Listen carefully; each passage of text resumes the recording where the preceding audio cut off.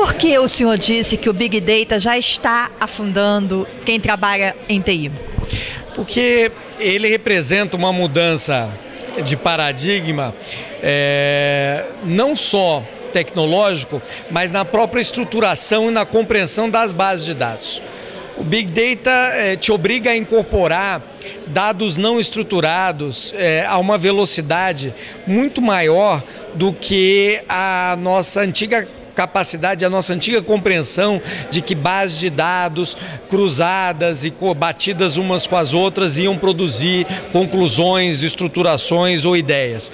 O Big Data tem uma dinâmica é, de constante análise e reanálise que está realmente desafiando é, quase todos os profissionais e as áreas de TI. Hoje, por exemplo, os profissionais mais aquecidos, mais requisitados, mais buscados hoje no mercado são os que o, o, os americanos estão chamando de data scientists. Gente que consegue analisar esses fluxos é, cada vez maiores de informação e conseguir, em tempo hábil, é, produzir reflexões e conclusões que sejam úteis para a aplicação, seja de políticas, de decisões eh, comerciais ou até mesmo estratégicas. Então é um desafio eh, que, de certa maneira, nós já estamos no meio do processo e tentando nadar num mar que só sobe. Como é que a DataPrev está trabalhando? Porque vocês lidam com dados de mais de 70 milhões de brasileiros. Como, como é que vocês estão atuando? Nós estamos tentando é, é, compreender o, o digamos assim, o panorama estruturante dos nossos dados. É tentar descer para um nível mais estratégico de compreender a estrutura desses dados e prepará-lo para esse processo aonde nós temos que oferecer mecanismos para que os nossos clientes façam as perguntas aos dados e não nós intermediarmos e tentarmos adivinhar reflexões ou previsões ou ideias ou informações gerenciais a partir desses dados. Nós temos que dar as ferramentas para os órgãos de governo poderem diretamente fazer, eh, e aqui eu estou usando uma analogia bem inadequada, mas fazer perguntas a esses dados que possam, em tempo hábil, eh, orientar as ações dos agentes públicos que são os nossos clientes termos de TI, o que, que isso significa? Vocês estão tendo que contratar novos sistemas, vocês vão ter que ter uma TI mais unificada? Eu, tenho a impressão, e nós estamos ainda na fase de, de reflexão e estudos, que nós vamos ter que a, abrir um pouco os processos para a inclusão de uma quantidade crescente de dados estruturados e não estruturados. Então, é, por exemplo, vou dar um exemplo. É, hoje a, a Previdência recebe quase 5 milhões de eh, ligações mês para agendar eh, suas, eh, seus atendimentos em todo o país. Nessas ligações estão embutidas uma riqueza gigantesca de dados sobre a expectativa da população, o que ela espera, quais serviços ela precisa, eh, geograficamente localizado e as dúvidas que tem, que precisam ser analisadas e retirar políticas de orientação das mudanças no futuro. Essa análise antes era restrita apenas aos dados do CNIS, ao cruzamento de quem tem direito e quem não tem direito. Nós temos que antecipar processos, indo buscar os dados também de relacionamento com a população, cruzando com os dados das bases tradicionais. Esse é o grande desafio, dar esse próximo passo de juntar a base que nós já dominamos e conseguimos qualificar com os dados indiretos, não estruturados, que também chegam de maneira tremenda emenda junto ao governo. O senhor, o senhor colocou efetivamente que para fazer análise do Big Data se exigem profissionais qualificados. Como que o governo trabalha nessa área se a contratação de profissional é complexa até na iniciativa privada? Olha, é, é, essa é uma pergunta que ainda ninguém tem resposta. O governo está buscando, como sempre, parcerias com universidades, que é sempre um, um celeiro nesse momento de salto tecnológico, e ao mesmo tempo, como foi mencionado aqui, é muito atento às demandas e, e às ofertas ofertas do setor privado que possam resultar em agregação de novas práticas e tecnologias por meio de parcerias com esse mesmo setor.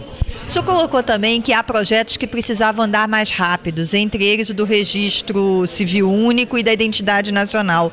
Por que, que o senhor coloca isso? Olha, o, eu acho que o país precisa consolidar a infraestrutura nacional eh, de dados, e aí não é nem a infraestrutura nacional de dados, é a sua infraestrutura de dados. Então, um país precisa eh, cada vez mais de alguns processos unificadores. Então, o, registro de quem nasce, o registro de quem morre, o, a teia de relações do registro civil, casamento, filiação, eh, a própria identidade, a aferição, até mesmo biométrica dessas pessoas, o relacionamento de todos esses esses dados, mais as políticas públicas, mais os, a, a, dimensão geográfica dos dados espaciais, mais toda a, a enorme e crescente produção de dados abertos.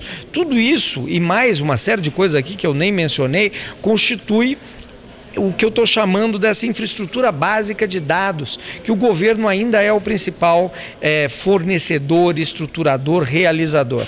Isso precisa ser coordenado para que possa estar a serviço da nossa sociedade.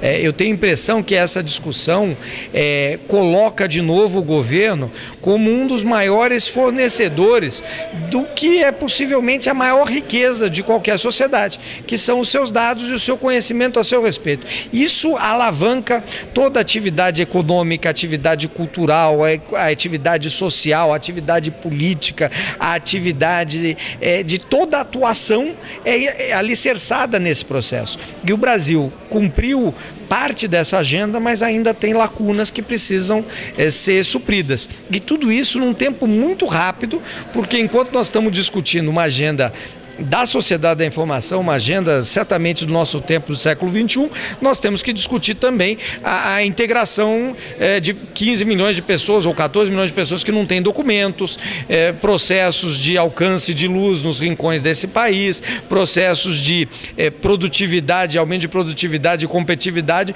junto com a inclusão social básica. Então, é, é isso é o que faz a, a riqueza e, e certamente o grande desafio desse país. Mas como acelerar, por exemplo, o projeto da identidade única que está andando no ritmo bem abaixo do que se esperava?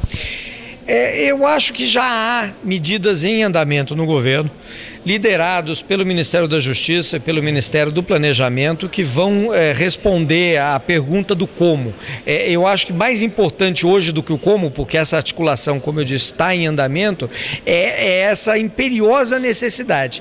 E não existe impedimento, nem tecnológico, nem orçamentário. É muito mais uma questão de alinhar todos os processos e alavancar essa decisão. Claro que é, no governo sempre a priorização de projetos é uma disputa é, que não passa apenas pela relevância do projeto, mas também pelas condições operacionais que existem ou não existem para a sua execução. Agora, o senhor colocou também que no momento que se fala de se tratar dos dados, tem questão como a privacidade. Como lidar com isso? Pois é, essa para mim é, é, é, é, uma resposta que a sociedade brasileira é, discute pouco e debate de maneira uh, incipiente. E eh, não tem muita resposta o, a área jurídica está caminhando para assegurar direitos eh, de uma maneira muito adequada e muito adequada à nossa tradição ocidental, humanista, mas a, a prática e a tecnologia está caminhando para outro lado. E hoje em dia a, é, a afirmação de que a privacidade é mantida e preservada cada dia é questionada, cada dia é mais é, complicado de fazer essa afirmação. Então eu acho que esse é um debate que ainda não está resolvido entre nós, não.